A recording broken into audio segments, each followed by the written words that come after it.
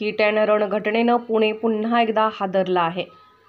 जुन्या पुणे मुंबई महामार्गावर बोपोडी परिसरात अज्ञात वाहनाने रविवारी मध्यरात्री दुचाकीवरील पोलीस मार्शलला उडवले.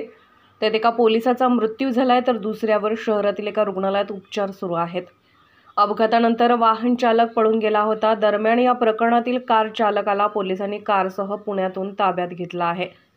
हा अपघात जेव्हा घडला तेव्हा त्याच भागातून पांढऱ्या रंगाची इनोवा कार जाताना सी सी टी व्हीमध्ये दिसली होती जी मुंबईतून अपघातग्रस्त होऊन आली होती.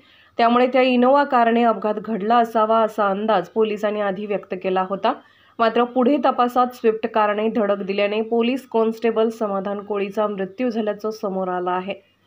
या प्रकरणातील आरोपी चालकाला ताब्यात घेण्यात आला असून त्याची चौकशी सुरू आहे. खडकी भागात आज अपघात झालेला आहे. का या प्रकरणाची माहिती आहे? कोणाला आतापर्यंत ताब्यात घेतलेले आहे? आणि त्या पोलीस कर्मचाऱ्यांची सध्या हे अपडेट काय खडकी पोलीस स्टेशनच्या हद्दीमध्ये रात्री बीट मार्शल पेट्रोलिंग करत असताना त्यांना एक अज्ञात वाहनाने धडक दिलेली होती.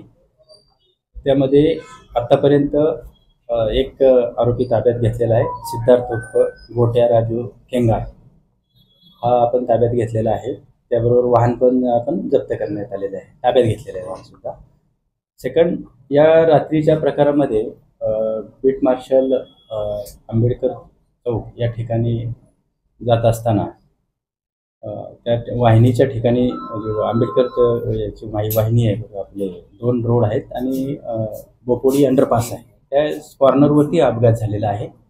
ठोकर अत्यंत गंभीर स्वरूपात दिसून येते. आणि त्यामध्ये आमचे कर्मचारी त्यामध्ये एक मयत झालेले आहेत समाधान कोळी. आणि दुसरे संजोग श्याम शिंदे जखमी आहेत. त्यांना तात्काळ रुबी हल्ला मी पाठवलेला होता. त्यांच्यावर उपचार आता ते आउट ऑफ डेंजर आहे. केलं होतं आरोपीच्या मद्यप्रश्नाबाबत माहिती घेतलेली आहे आणि त्याला आपण ससुंदा मेडिकलला तात्काळ पाठवलं. जसं ताब्यात घेतलं त्याचबरोबर पाठवण्यात आलेलं आहे. आरोपीकडे ड्रायव्हिंग लायसन्स थोडक्यात अपघात कसा झाला? लोकनायक न्यूज.